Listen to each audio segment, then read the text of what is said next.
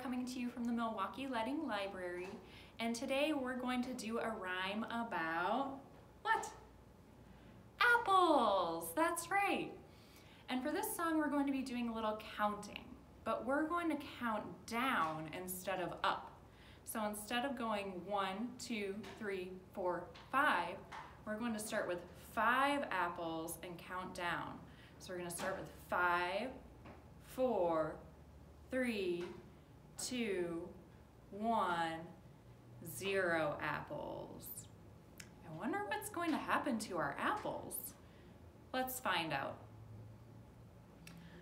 Five little apples hanging from the tree. The farmer wasn't looking, so she didn't see. Along came Rabbit, as hungry as can be, and chomped an apple right out of that tree. Apples do we have left? We had five. Now we have one, two, three, four apples left. Four little apples hang in the tree. The farmer wasn't looking, so she didn't see. Along came Skunk, as hungry as can be, and chomped an apple right out of tree. Ooh, yummy. They are yummy, Skunk.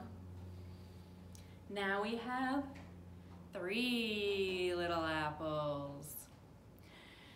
Three little apples hanging in the tree. The farmer wasn't looking, so she didn't see. Along came, who could be next? Raccoon, as hungry as can be, and chomped an apple right out of that tree. How many apples do we have left? Two, that's right. Two little apples hanging in the tree. The farmer wasn't looking, so she didn't see. Along came Squirrel, as hungry as can and chomped an apple from out of the tree. Nom, nom, nom, nom, nom, nom. Squirrel, you already have an acorn. Nom, nom, nom, nom. Apples are better. How many apples left? Let's count. One, well that was easy. One little apple hanging in the tree. The farmer wasn't looking, so she didn't see. Along came